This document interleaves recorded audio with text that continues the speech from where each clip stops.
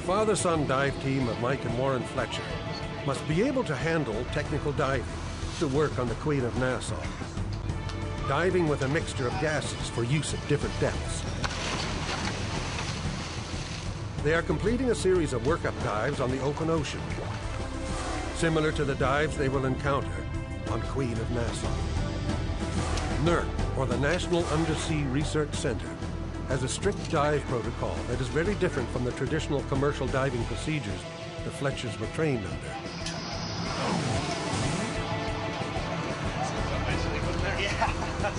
NURC has taken cutting-edge tech diving technology to a procedure that's both safe and reliable and has been accepted by the scientific dive community. All right, divers, dive, dive, dive. Tech diving is sophisticated scuba diving taken to a whole new level. It puts a diver in very deep water, relying solely on the equipment carried on his back.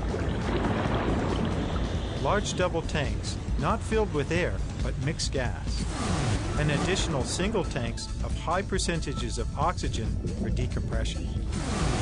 Nitrogen narcosis is something that happens to divers at depth. It's essentially a narcotic effect that the nitrogen in air has on the diver's brain when you dive deep.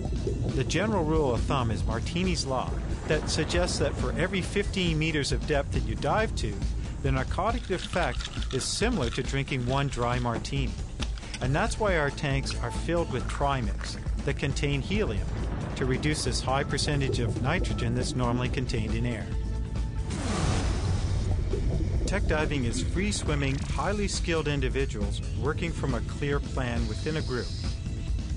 A group of divers that watch out for one another. Traditional deep diving is a diver in a helmet, fed different breathing gases through a hose. The diver here has far less independence, but far more support from the surface team that are working from a stationary dive platform or ship. From 33 meters, our return to the surface would be a succession of 3 meter stops with varying lengths of stay. It's absolutely critical that you not only time your stops exactly right, but equally important that you maintain the depth at those stops as well. When any diver dives deep, their body absorbs gases that can't be used.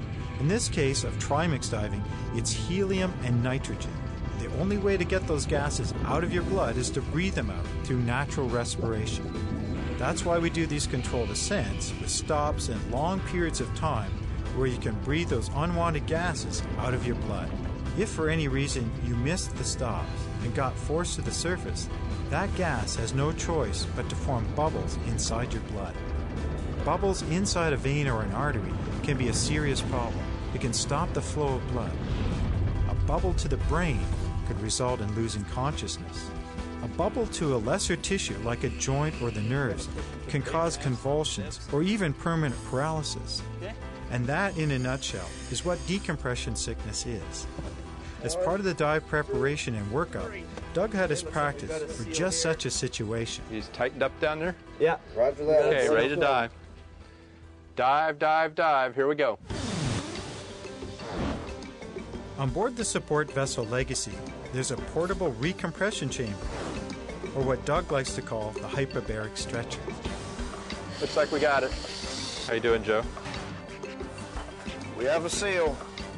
10 feet. If a diver missed in-water decompression, he could be immediately repressurized and a serious situation could be averted. Okay, Joe, you're at 20 feet. How you doing, okay? Well, it's definitely a good piece of gear to have, but let's hope we never have to use it. I agree with that.